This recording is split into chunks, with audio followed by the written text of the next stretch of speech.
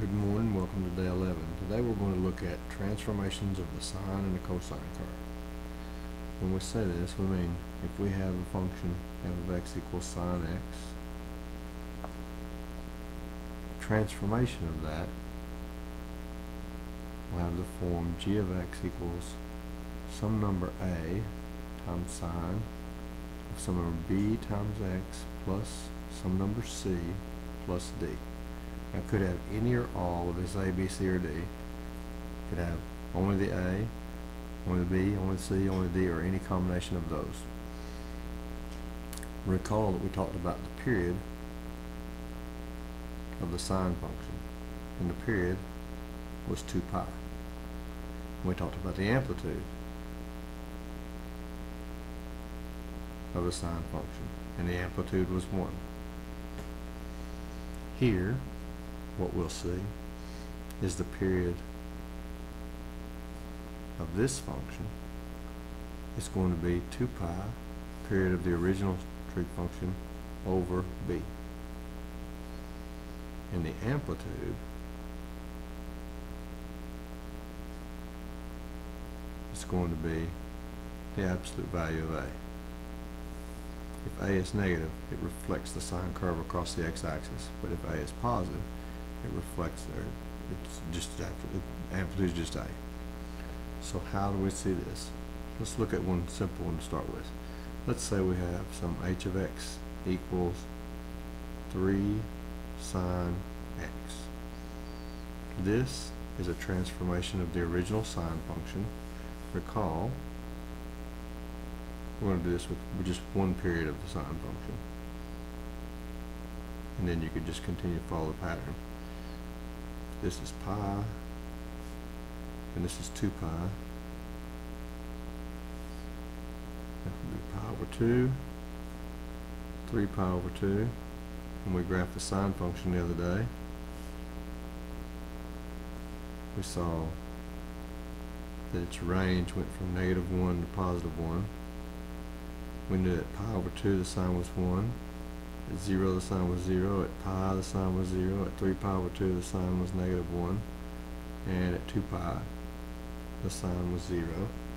We can always go back to our unit circle and get those values if we need them. Sine at 0 and 2 pi are both 0. Sine at pi is 0. Sine at pi over 2 is 1, and sine at pi over, and 3 pi over 2 is negative 1. Recall, the graph looked like a curve, a wave. This is the graph of y equals sine x.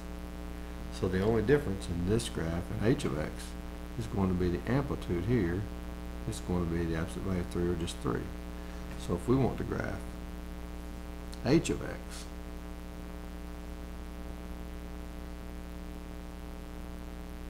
everything else will stay the same the period will stay the same. So the period's just 2 pi over b is 1 now.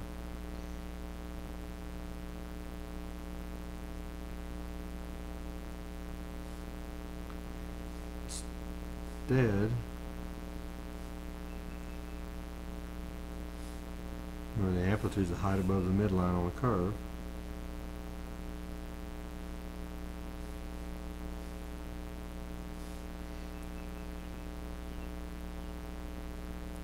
Sine of 0, pi, and 2 pi are all 0 still. But because the amplitude has changed to 3, at pi over 2, instead of having going to 1, it goes to 3. And at 3 pi over 2, instead of going to negative 1, it goes to negative 3. So what this has done is vertically stretched the curve. Still looks like a wave. Remember, don't make jagged saw teeth. That's one cycle of the curve. h of x equals 3 sine x. What if we had, let's say, p of x is equal to sine 2x. This one, the period is going to be two pi divided by two, or pi. All that means is the graph will complete one cycle in pi units instead of two pi. It'll still have the same characteristics, it'll just be a shorter cycle. So it'll be like compressing this function horizontally.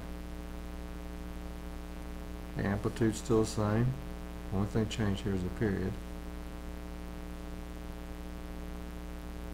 It's still going to have part of it that goes up and then down, and comes back. It's still the same cyclical function, just shorter period.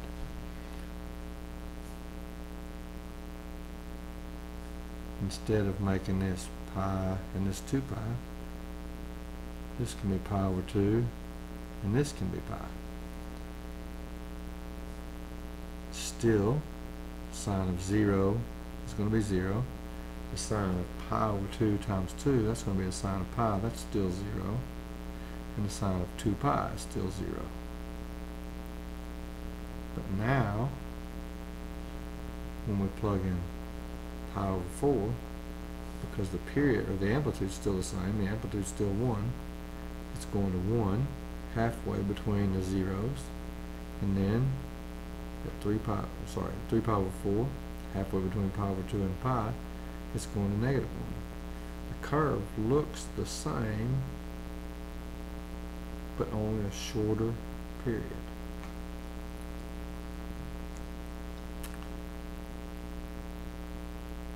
Now, what about the C and the D?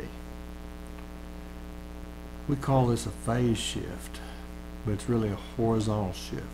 Shifts the curve. Shifts the curve. Negative C over B. If this turns out to be a negative number, then this is a shift to the left. If it turns out to be a positive number, it's a shift to the right.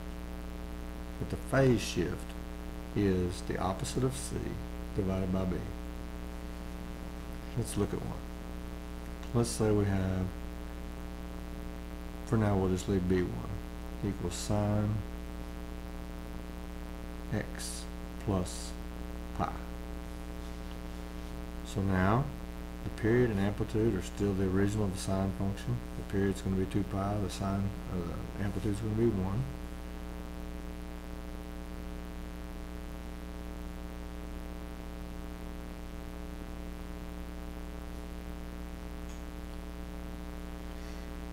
But this time, the phase shift is the opposite of C. C is pi now, negative pi, divided by B. B is an understood 1.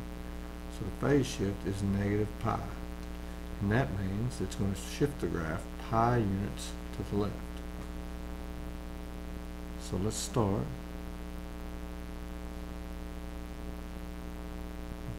Period's 2 pi, so I'm going to make pi and 2 pi.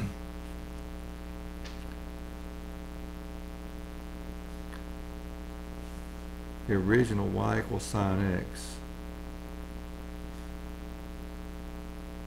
would have looked like this.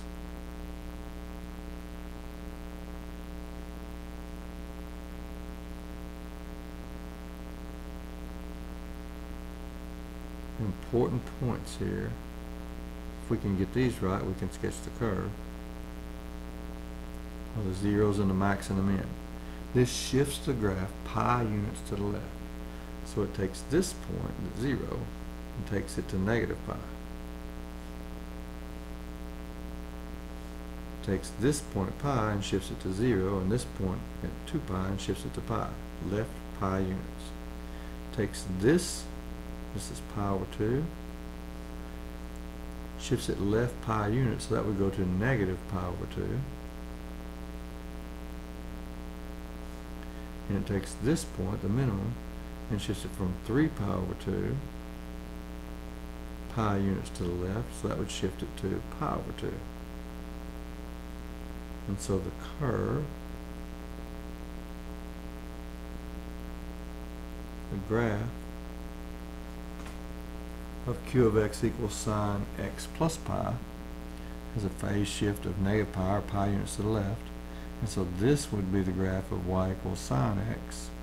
This is the graph of this q of x equals sine x plus pi.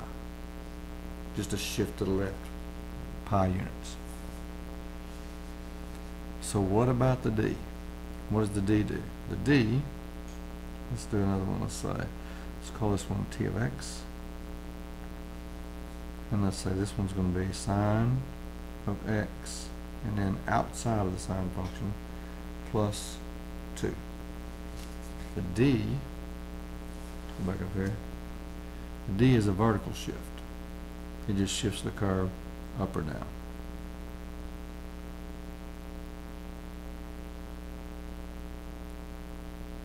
And that's just straight d, whatever d is. If d is positive, it shifts up. If d is negative, it shifts down. So if we're going to graph the curve t of x equals sine x plus 2,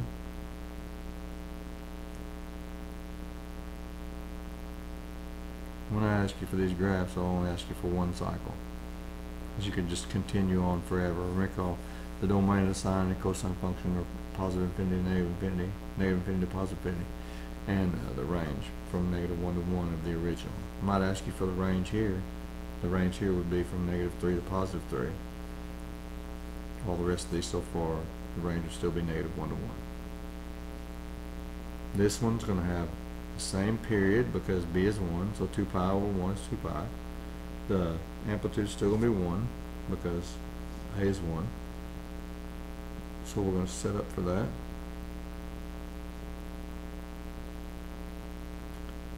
The original sine function, y equals sine x, if we were to graph it, would look like this.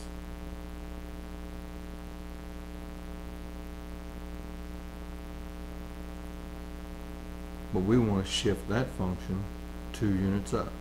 Vertical shift two units up.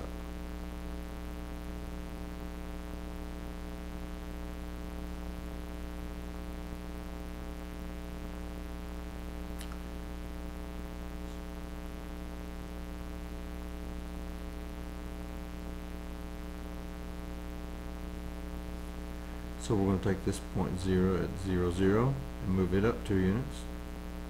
We're going to take this point at pi over 2, 1 and move it up two units. Take this point, pi 0, and move it up two units. Take this point at pi, 3 over 2, negative 1 and move it up two units. And take this point at 2 pi 0 and move it up two units. And so the graph of the curve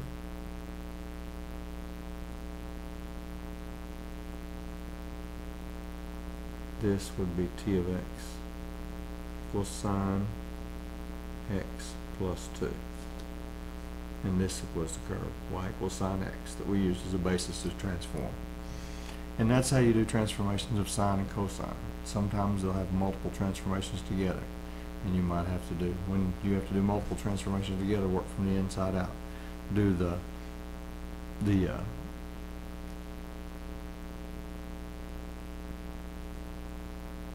horizontal compression first, the uh, period first, and do the vertical shift or horizontal shift, phase shift, then do the amplitude, and then do the vertical shift. That would be the easiest way to do that. So if you have to do multiple transformations first, do the period, then do the phase shift, then do the amplitude, and finally do the vertical shift. You probably won't see any that have all of those combined right now.